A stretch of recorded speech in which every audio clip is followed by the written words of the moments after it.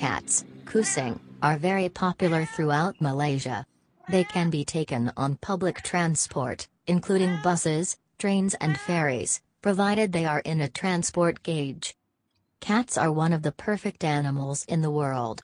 There are a million reasons why cat lovers are crazy in love with their companions.